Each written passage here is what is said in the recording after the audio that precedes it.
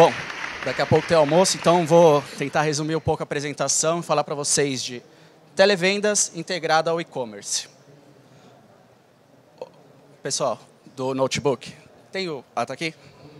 Vamos lá. Então, televendas é, faz parte daquele ambiente que a gente chama de multicanal, da estratégia multicanal. E se você, a gente evoluir para o multicanal e for para aquilo que a gente chama de omnichannel, dentro do televendas a gente consegue incluir todos aqueles canais dentro do canal de televendas. Então, é, a gente usa o televendas, o pessoal do televendas utiliza o site para fazer as transações.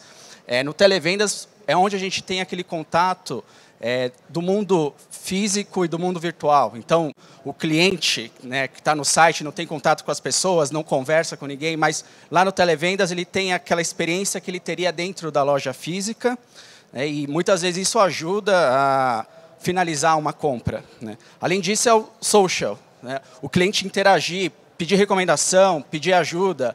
Então, isso, apesar de não ser uma, uma, um ambiente de redes sociais dentro do Televendas, é um lugar onde o cliente recebe recomendação, recebe ajuda. E, por último, o mobile. Né? O mobile é o telefone. Apesar da gente não usar quase o telefone hoje em dia para fazer ligação, é através dele que o pessoal entra em contato com televendas. E o televendas hoje é muito mais do que só tele, né? é vídeo, é chat, então através desses canais também é possível realizar transações pelo, pelo esse canal, que não seja através do site, esse canal que é mais próximo do cliente. E aí o desafio é tornar o televendas mais eficiente. Tá? E como tornar esse canal mais eficiente? É ter gente que é menos atendente e mais vendedor. Afinal, ali é um canal de venda não é exatamente um canal de atendimento. Mas a gente tem que tomar cuidado. Tomar cuidado com uma coisa. Não está passando aí. Então, tomar cuidado para que o televendas não se torne um saque. Tá? Claro, o cliente entra em contato lá no televendas, é, pede ajuda, pede para resolver problema, e tem que ser resolvido ali no televendas. Não adianta ficar passando de um lugar, passar para o outro. A coisa que a gente fica mais irritado é quando ninguém resolve o nosso problema na primeira ligação. Mas a gente tem que ter cuidado para que esse canal não, não sirva de referência para o cliente ser atendido e ser resolvido. A gente tem que resolver o problema, mas não pode ser através do televendas. Tá? E garantir, lógico, tem que resolver lá por quê? Porque garantir a qualidade do atendimento, que no caso da Saraiva, a qualidade que a gente tem em todos os canais, inclusive lá. Então, resolve esse problema, mas não é esse o foco. Como tornar as pessoas lá mais vendedores. Né? Então, tem que ter campanha de incentivo, tá? É, tem que trabalhar com comissão de vendas para as pessoas que trabalham no televendas. Existem alguns problemas trabalhistas em conseguir comissionar o pessoal que está dentro de, uma, de um call center, de um telemarketing, é, mas tem algumas alternativas para conseguir fazer isso e motivar o atendente a vender mais, a vender garantia estendida, a tirar a dúvida do cliente, a fazer ele, final, é, fazer ele terminar essa compra, finalizar a compra. E, além disso, ele tem que ter treinamento, tem que ter especialização. A gente sabe que muitas, o pessoal que trabalha no call center, geralmente é um pessoal novo, é, ou está na faculdade, é recém-formado, é, então eles têm pouca experiência com os produtos, então eles precisam de treinamento, precisam de especialização para conseguir recomendar o produto corretamente para o cliente. E tem algumas ferramentas que podem ajudar é, nessa especialização do vendedor do televendas, tornar o atendente vendedor. Então, uma delas é recomendação de produto. Né? Então, lá na Saraiva a gente usa a Keyordic para recomendação de produtos dentro do nosso site. E como o televendas utiliza a plataforma do site para fazer as transações, os elementos de recomendação, que seja na página de produto, seja baseado no comportamento de visita que esse cliente já teve em outras compras da Saraiva, é, seja em produtos relacionados ao carrinho do cliente, ferramentas de recomendação de produto vão tornar mais assertivas a, a, a, vender muito mais produtos dentro do mesmo carrinho, dentro do mesmo checkout. Então, é uma das ferramentas que vai ajudar o, cliente, o atendente, ao vendedor, é, sem ter a especialização necessária que teria um vendedor de loja, que você vai conversar com o vendedor de loja, o cara é especialista em livros, ele sabe falar tudo com você de livros. O cara, o outro vendedor de informática da loja sabe falar tudo de tecnologia. O cara do televendas tem que saber de tudo. Então, saber de tudo não dá para saber muito profundamente de tudo. Então, ferramentas de recomendação ajudam a entender e saber qual produto mostrar para o cliente.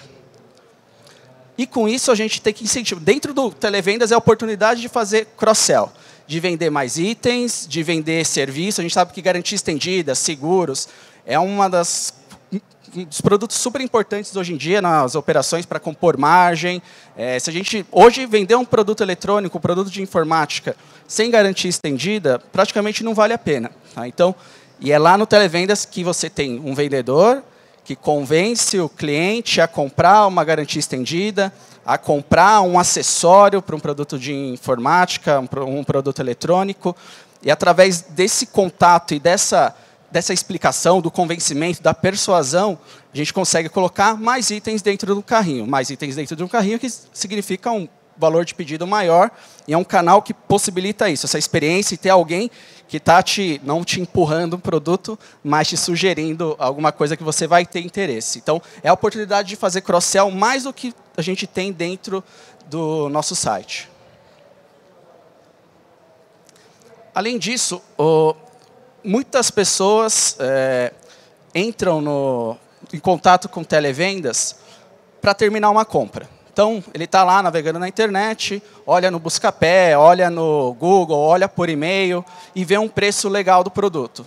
Ele não quer fechar a transação pelo site, diretamente pela internet. Então, ele entra em contato com televendas e o televendas faz esse processo de finalização de compra. É, outra questão é, esse cliente entrou em contato com a gente, ele já navegou no nosso site, já se logou, já te, a gente tem informação dele. Algumas plataformas hoje, uma, a gente está navegando na internet, coloca um produto no carrinho, sai, né, e depois entra novamente nesse site. Algumas plataformas já permitem guardar esse histórico do carrinho do cliente, e é uma oportunidade para o atendente do televendas, quando enxerga aqueles produtos dentro do carrinho, lembrar o cliente daqueles produtos ou recomendar novamente aquele produto e faz, a, fechar aquela compra que o cliente tinha abandonado. Né? Então, são ferramentas que hoje possibilitam a gente fazer esse tipo de, de ação de ou converter uma compra abandonada ou finalizar uma compra que muitas vezes o cliente, ou por receio ou por dúvida, não fecharia dentro do, do site normalmente. Então, uma das pesquisas que foi feita em 2011 fala que 77% das pessoas que abandonaram as compras, abandonaram porque não, não tinham com quem falar. Tá? Então, o canal de televendas é um canal que você consegue, usando o e-commerce, usando a internet, falar com uma pessoa e, a, e, essa pessoa fazer, ajudar você a finalizar a compra. Uma, uma coisa nova que é, usar, é, foi feito para redes sociais, para essa interação social, uma feature social, mas que pode ajudar no televendas é a questão do co-shopping. Então, você, o cliente está navegando e pode ter alguém ajudando esse cliente a navegar, a encontrar produtos, a tirar dúvidas durante a transação. Isso pode ser feito tanto pelo cliente sendo ajudado pelo atendente do televendas, como pelo atendente do televendas, é, fazendo toda a navegação no site, o cliente olhando o que esse, atendente está fazendo, e, ah, não, quero esse produto, ah, deixa eu ver esse produto, ah, não, não entendi o que tem nessa, nesse produto aqui, informação que ele, alguma informação, alguma funcionalidade desse produto.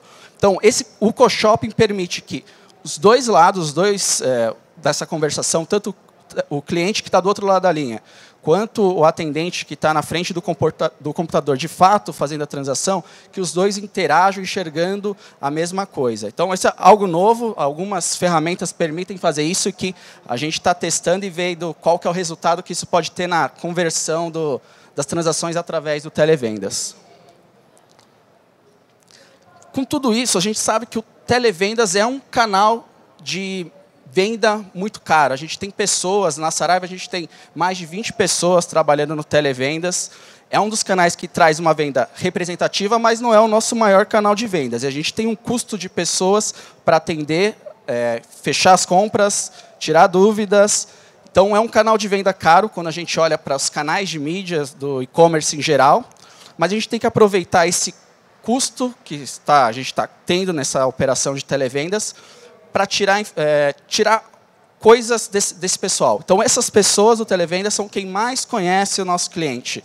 Então, é utilizar o conhecimento deles, utilizar o que eles sabem do nosso cliente, os problemas que a gente tem na nossa operação, o problema que a gente tem no nosso site, o que o cliente procura, o que a gente pode ter de coisas novas dentro do site para que ele consiga, através do ambiente do e-commerce mesmo, é, ter uma experiência de navegação melhor, uma experiência de compra melhor.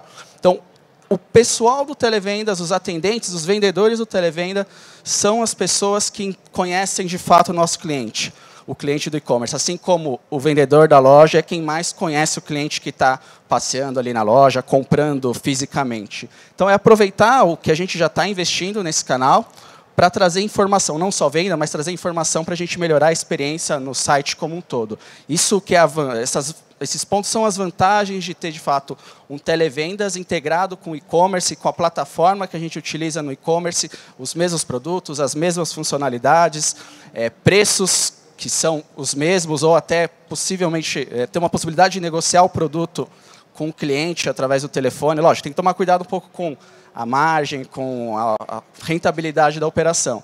Mas é um, é um lugar que permite negociação com o cliente. Então, aproveitar esse canal para conhecer mais o nosso cliente. É isso, gente. Obrigado.